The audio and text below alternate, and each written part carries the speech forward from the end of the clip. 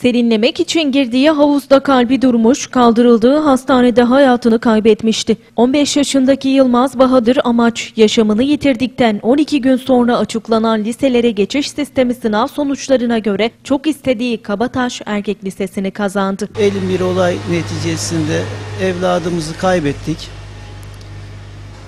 Yani çok üzücü bir olay. Aradan 12 gün geçti. 10-12 gün sonra da sınav sonuçlarını görünce istediği okulu kazandığını gördük. O bizi bir kez daha üzdü. Ailesi çocuklarının anısını bir okulda yaşatmayı amaçlıyor. İlçedeki yazdıklarında girdiği havuzda kalbi duran ve kaldırıldığı hastanede yaşam mücadelesini kaybeden 15 yaşındaki Yılmaz Bahadır Amaç'ın ailesinin acısı dinmiyor. Ee, dipte kalmak yarışı yapmışlar. Sonra da işte e, dipte uzun süre kalmış.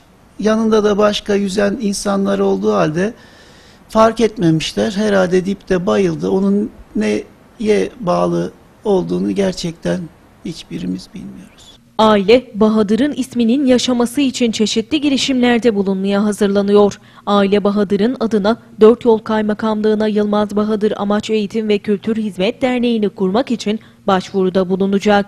Sevenlerimiz, dostlarımız bana geldiler, e, dediler ki ya biz bu yavrumuzu kendi sınıf arkadaşları, okulu, İskenderun'daki okulunun velileri, biz oğlumuzun ismini yaşatmak istiyoruz dediler. Ben de zaten öyle bir niyetim vardı. Ben tabii ki gücümün yettiği kadar ne bileyim işte bir okula kütüphane kurarım, bir çeşme yaparım. Gücüm ancak onlara yeterdi.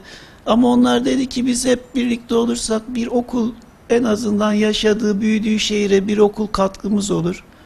Onun için bir dernek kuralım.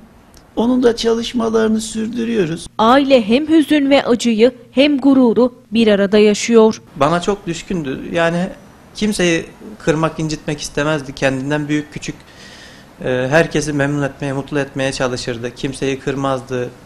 Biri bir şey istediği zaman mümkün mertebe elinden geldiğince yapmaya çalışırdı. Ben de ona bir şey yapmasını telkin ettiğim zaman, söylediğim zaman hiç itiraz etmezdi.